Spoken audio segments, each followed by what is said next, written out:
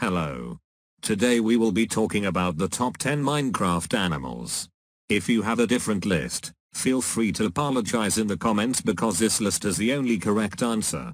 If you would like to make someone happy today or you like this content, please subscribe. It's free, and you can always unsubscribe anytime you want. Number 10. My 10th pick is a pig because they are fairly useful when killed, but are pretty common. Number 9. The cow is my ninth pick because they are about as rare and useful as a pig, except for the fact that when you kill a cow, you also get leather. Number 8. The sheep is number 8 for me because you can get food from it, as well as wool so you can craft a bed. Number 7. My 7th pick is the wolf because when it is tamed, it can help protect you. Number 6. My 6th pick is the turtle just because. I like turtles.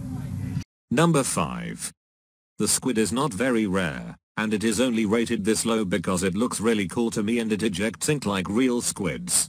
Number 4. The horse is number 4 because it is very useful when it is tamed, as you can obviously ride it around. Number 3. The bee is my third favorite Minecraft animal, even though it has no use. I just like it that they actually added bees that look really cool. Number 2. The llama. Oops, I mean the llama is the second pick because it gave me a chance to roast Jake Paul, and the adult llamas drop leather. Number 1. The number one Minecraft animal is the mooshroom because it is a funny idea, and an amazing pun. If you enjoyed the video, please make sure to like and subscribe. Or don't. Either way is fine. Bye and have a great hour, day, week, month, year, decade, and life.